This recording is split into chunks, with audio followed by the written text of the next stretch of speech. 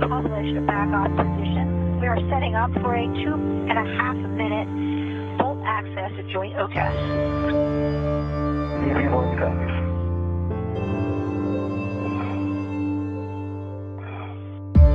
And a panoramic view from 260 miles above the Earth as uh, the International Space Station passes off.